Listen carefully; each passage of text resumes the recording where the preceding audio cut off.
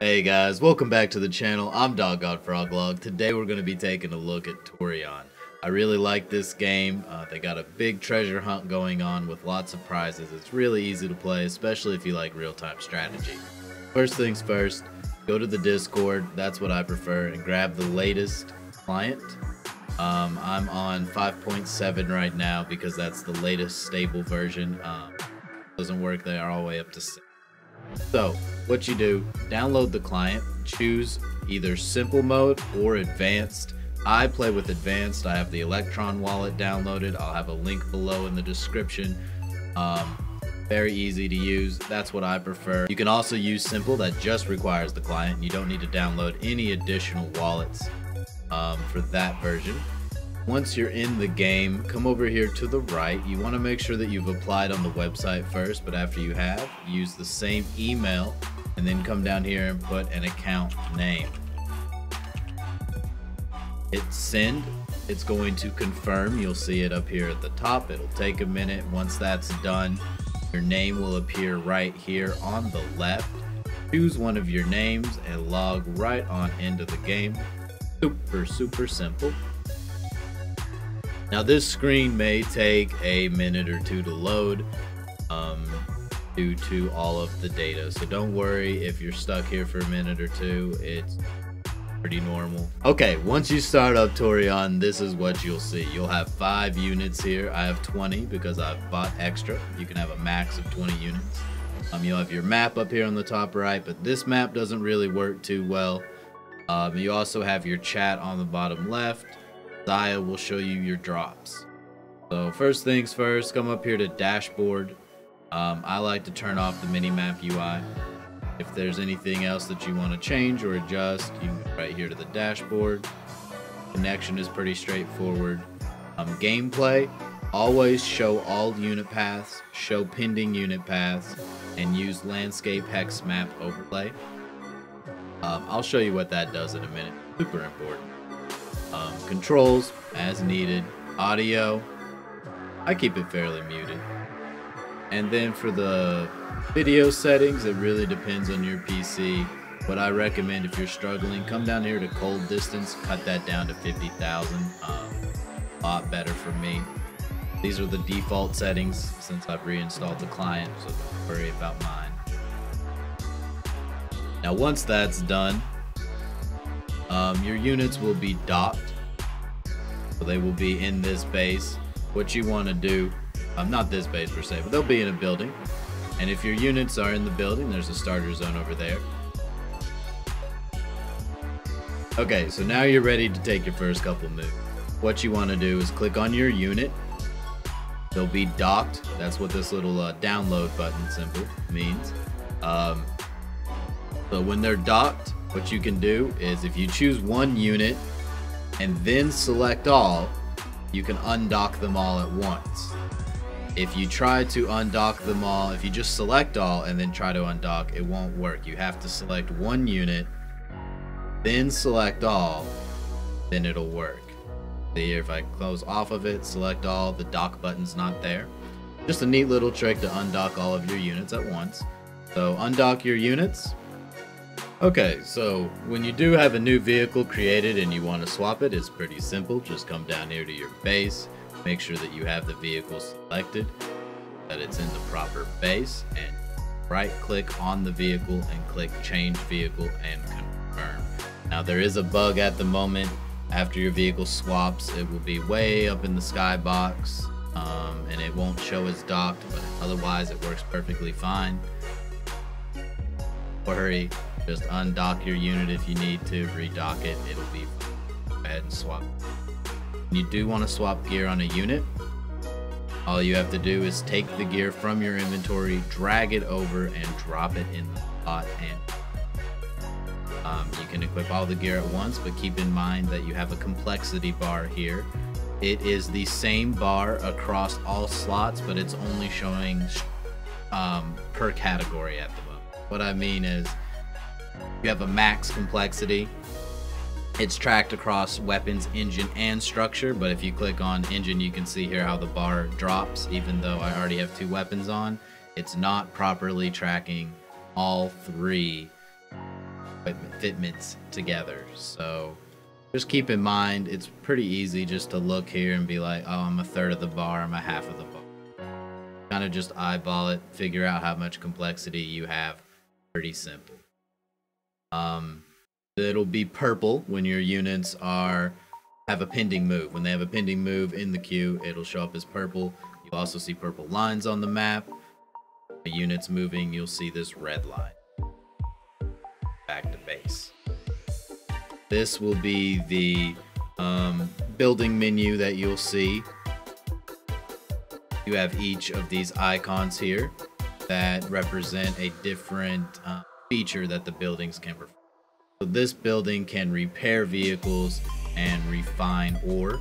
Um, this is the building's inventory here. So see where I have refined some ore. You can right click on it, choose max, and that'll let you refine. But um, as you can see, I, I don't have enough there to refine. And it'll sometimes be grayed out. If it's grayed out like this and you can't refine your ore, come over here and reduce the number. And it'll let you do it. So just reduce the number to an even multiple of 10. It'll let you refine unless your amounts are too small. You can also see your docked vehicles over here. Um, so here you can see everybody who's stored in the building quite a few of me. And you'll also be able to see the current task. This will show all of the actions that's currently going on in this building. Um, not really too descriptive at the moment. And don't worry about these right now. They don't. Um, so, and you can also see what building or what faction a building belongs to with these little icons. They'll show up on the units as well. So it's really easy if you're getting confused um, trying to navigate the map. Speaking of the map, you can hit tab. Here. See everybody currently on the map. Um, one thing to keep in mind though is that um, the colors match the color of their vehicle, not the color of their faction currently. Bugged.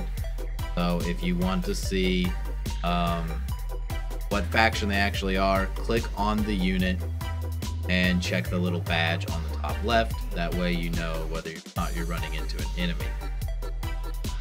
Um, that's generally everything you need to know to get through the base. It's pretty straightforward for an RTS. Um, there are Cubits, which are the in-game currency for Taurion.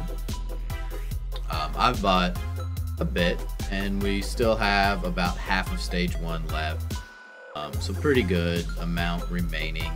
Um, Cubits, you will be refunded all of the Cubits that you buy during the beta. You can see down here what my full game balance will be. When you are in game and you want to buy more, come over here, put in the amount you want, hit buy, it will burn some chi permanently and you will get those Cubits. I've just burnt 50 chi, I will get 500,000 Cubits and these Cubits are really useful. You need them to upgrade weapons to basically do any sort of high level tech in Taurion. Um, so it's really good to just grab a chunk of them early on if you're going to play.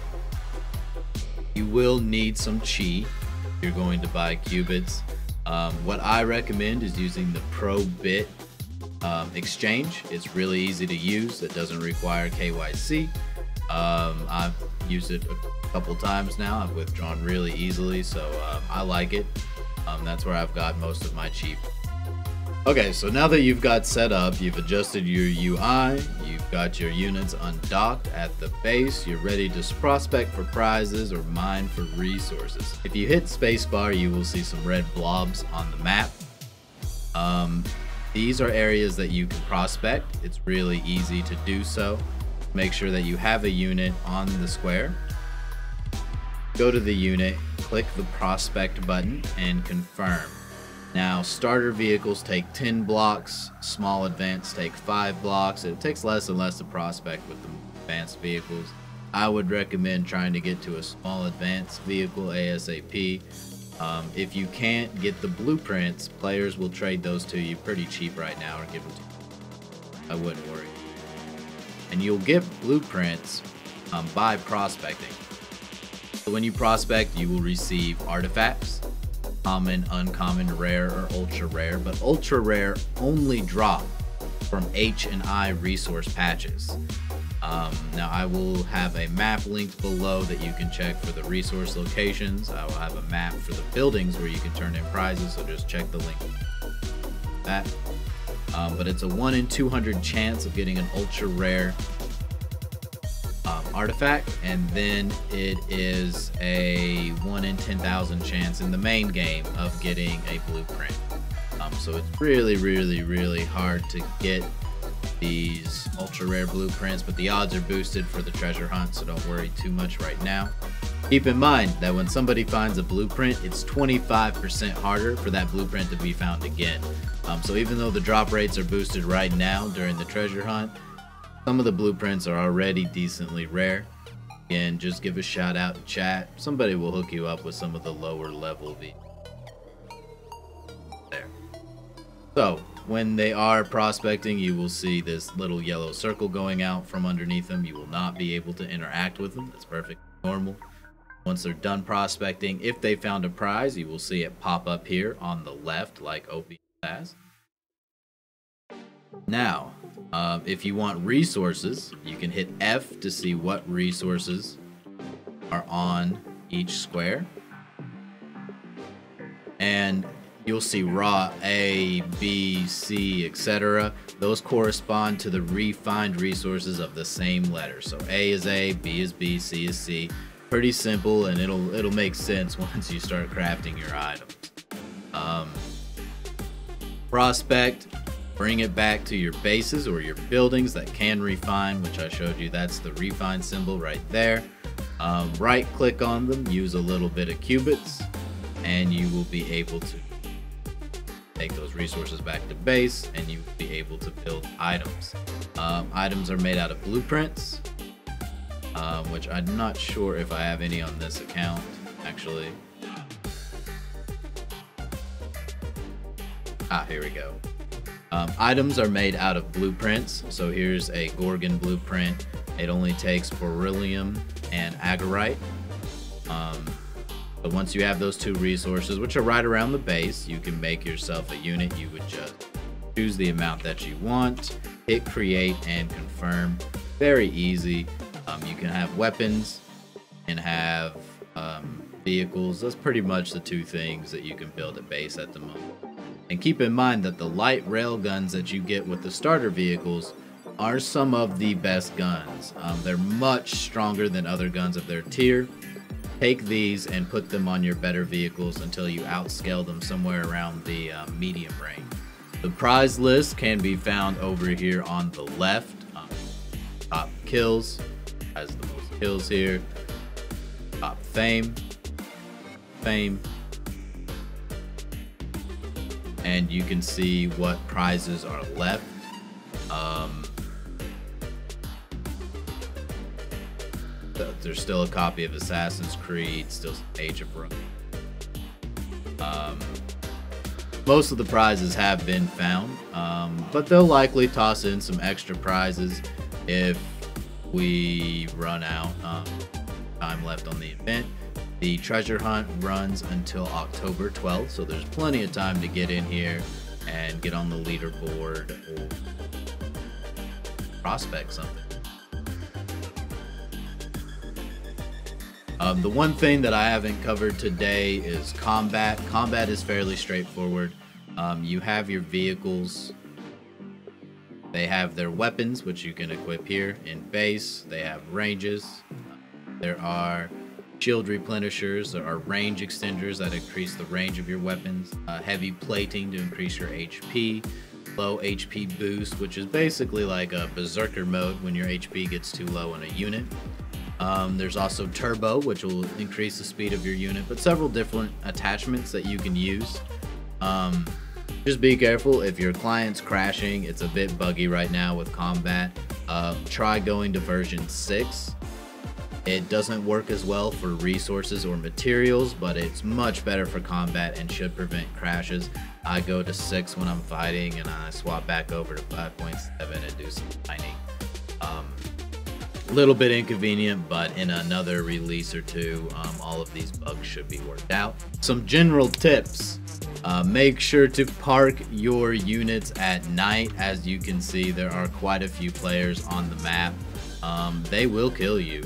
They will take your items. You will be free points for the leaderboard.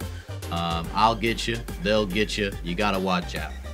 Um, there are a lot of people playing um, who just want some points, want some kills. Be careful. Park your units in a building or at night. There is a safe space around the buildings of about 5 to 10 tiles. Um, so as soon as you get near those buildings, you should be fairly safe. Just watch out for units in the way in the meantime.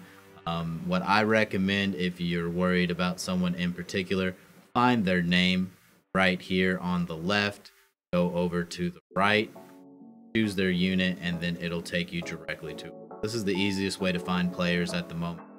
But I use to find everybody. Take advantage of it. For your prizes, they will need to be banked at the proper building. So you can see this is the Reality Clash building, and it only holds Reality Clash prizes. Even though you can store everything else in there, the only prizes that will count are Reality Clash prizes. Um, so make sure that you take your prizes to the proper buildings. I have a map. Again, I'll repost it um, where you can deposit everything. Six Dragons is bugged, so that one also take that to your base. Um, okay, something really convenient, but it may crash on you the first few times, are groups. Click on the Add Group button, choose a unit from the list, and give it a name.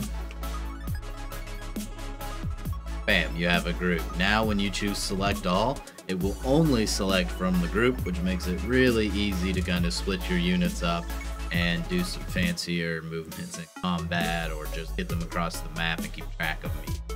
Really like the group setting, make sure you use it. If there's anything that I missed, if there's anything that you want to know about Taurion, I will have links to all the materials that you need below the video so you can see what vehicles there are, um, their stats, buildings, all sorts of information really easy to just read the GitHub. Um, that's what I would recommend if you're trying to figure out about the game. Just click through the info on there. Super, super easy to use. Um, but I'll have some links for you below. Make sure to like, follow, and subscribe if you want to see uh, the next game that's going to come out.